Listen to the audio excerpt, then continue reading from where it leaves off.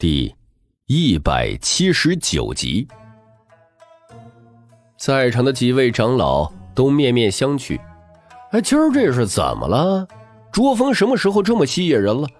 极度鼎盛的星风屡屡被人拒绝，前面的天才啊还情有可原，眼下一个资质让人皱眉的少年竟也如此，对他们来说实在是种打击。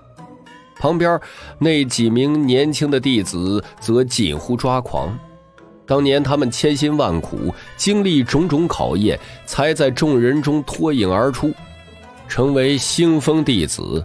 想不到今日不断有人无视星风，这让他们颇不平静。天才也就罢了，居然连这样一个少年亦如此，让他们情何以堪呢？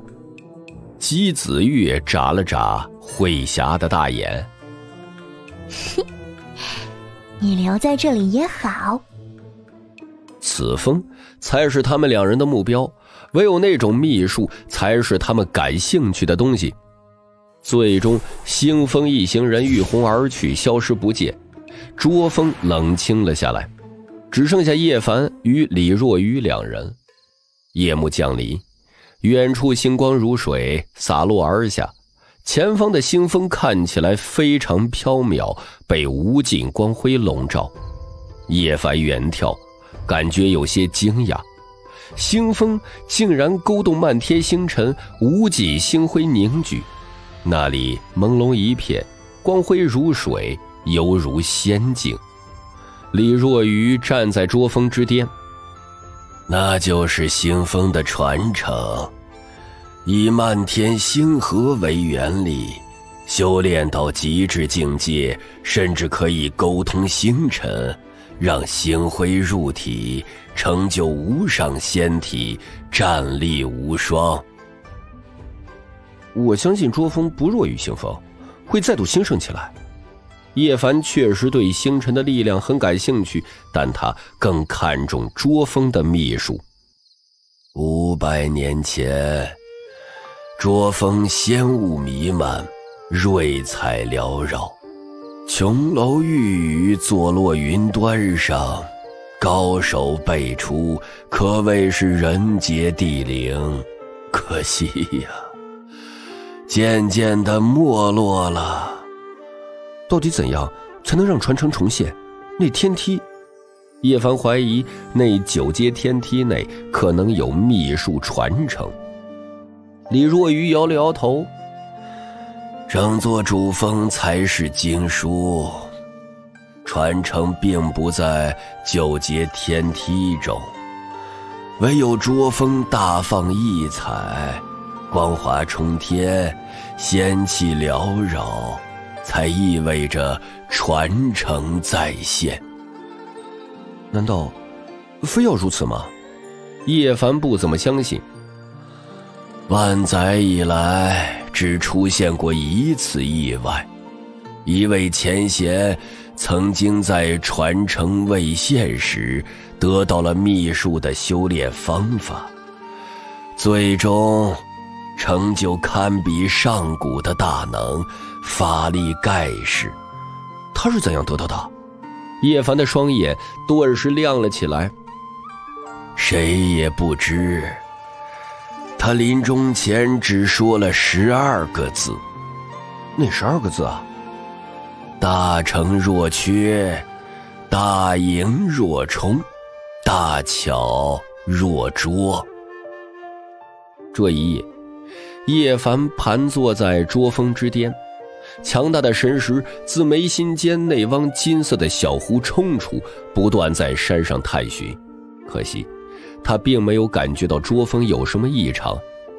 若说整座主峰就是一部经书，这让他有些摸不着头脑，觉得很玄乎。夜深人静后，前方那座星峰更加璀璨了，漫天星辉洒落，洁白透亮，像是有瑞雪在纷飞，又像是白玉在沉降，让人感觉到一股庞大的星辰之力。叶凡倒吸冷气，这样的传承太神妙了。如此多的星辰之力凝聚在一起，光辉璀璨，长期滋润肉身，肯定有着难以想象的妙处。这让他有些眼热。此种修行法门有独到之处，怪不得太玄门屹立万载不倒，一百零八座主峰实在非凡。叶凡抛开思绪，开始修炼道经。他无时无刻都在提升自己的修为，从来没有浪费过光阴。他的心渐渐的宁静了下来。道经是修炼轮海秘境的顶级心法。最起码在东荒五谷经可以超越，直至到了午夜，他才收功而起。一旦我的轮海秘境修炼完毕，就要着手准备道宫秘境的心法了。不知道什么时候才能够去瑶池圣地。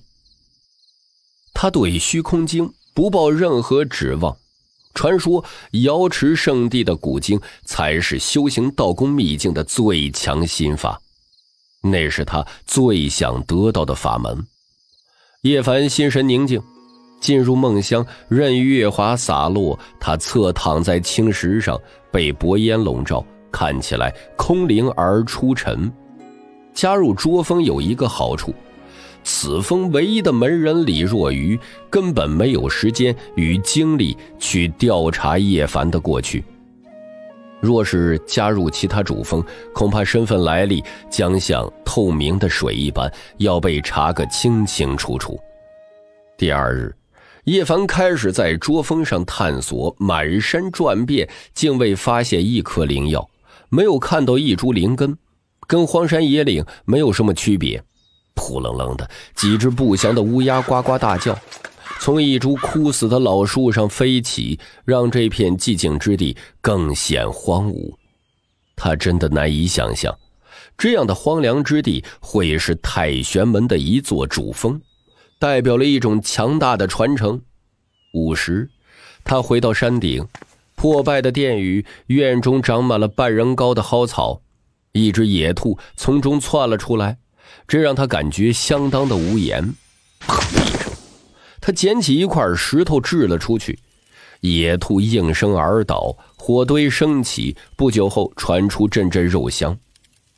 兔肉被烤得金黄油亮，油脂滴在火堆中，发出嗤嗤的声响。捉风，枯藤死树，老鸦栖居，古宫殿宇，野兔窜走，真是的。叶凡自语，远处。破败的殿宇中，李若愚老人看了他一眼，并没有多关注，闭上双眸，如枯木一般寂静了下去。就在这时，有人嘲讽道：“一百零八座主峰，代表了太玄门一百零八种强大的传承。主峰之巅最为圣洁，乃是传承重地，如今却尘火燃起，俗肉飘臭。哼！”唯有捉峰独一份儿吧。一个身穿水蓝色衣衫、看起来有些傲气的青年，驾驭神虹降落而下，头颅扬得很高，皱着眉头看向火堆。怎么，馋了？想吃？叶凡两字一顿，说的轻飘飘，面带揶揄之色。蓝衣青年没有想到。一个刚入门的弟子，居然敢这样顶撞他，脸色顿时沉了下来。大胆！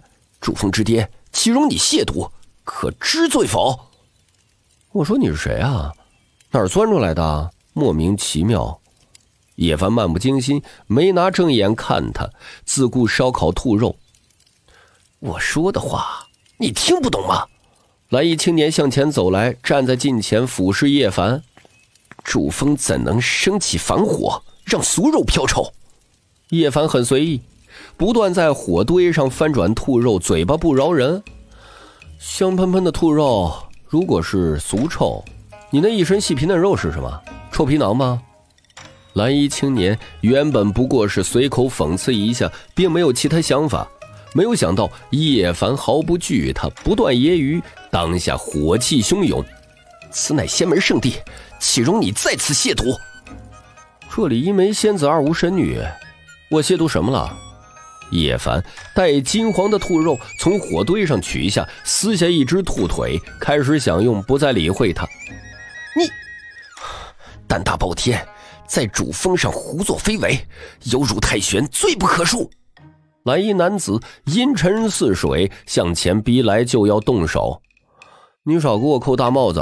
什么胆大包天，有辱太玄，这哪儿跟哪儿啊？